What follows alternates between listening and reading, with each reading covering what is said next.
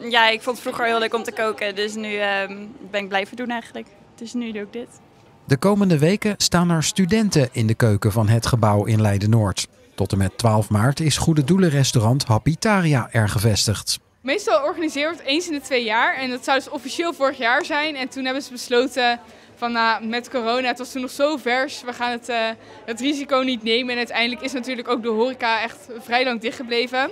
Vorig jaar hebben ze 60.000 euro opgehaald, maar we hebben zelf al wel een beetje ingecalculeerd. Er kunnen minder mensen in het pand, uh, dus het is denk ik niet reëel om te denken dat 60.000 euro weer gaat lukken. Maar we dachten 40.000 is toch wel een eh, goed streefdag om uh, naar te gaan werken. Het geld dat de studenten verdienen gaat naar Teerfund. Een instelling die zich onder andere inzet tegen mensenhandel in Nepal.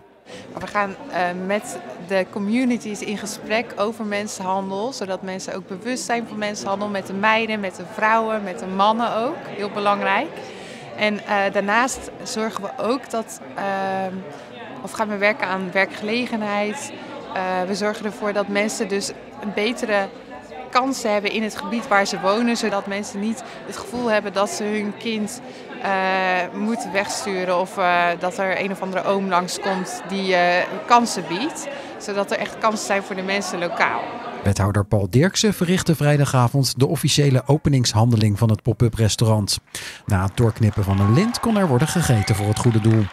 Ja, dit vind ik een fantastisch idee.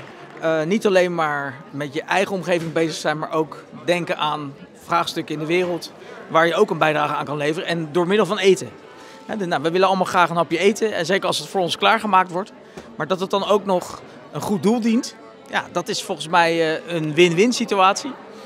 Dit worden kipschnitzels voor de pokeball. Is dat veel werk? Nee hoor, valt mee. Ik moet gewoon hier even dunne schnitzels van snijden. En dan uh, paneren. En het eten dat overblijft, ook dat gaat naar het goede doel. Ja, je bent natuurlijk een restaurant, je blijft eten over en je wil uh, natuurlijk niet veel verspillen.